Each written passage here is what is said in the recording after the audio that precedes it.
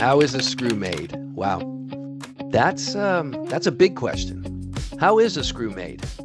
First, you purchase the wire diameter equivalent to the size screw you want to make. So if you're making number 8 screws, you purchase number 8 wire.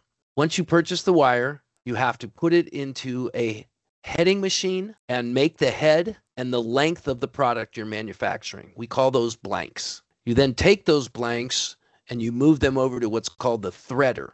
And the threader will basically have two dies, metal dies, hitting each other like this and creating the threads.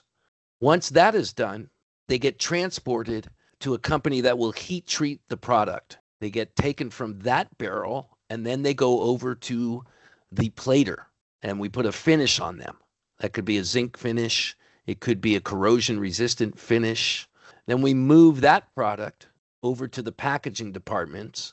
They label them at this point, put them on pallets, and prepare them for the container. Then it'll get driven to the port. I'm Greg Wiener, and I'm the owner and founder of Quickscrews International Corp. And we've been doing this for almost 40 years.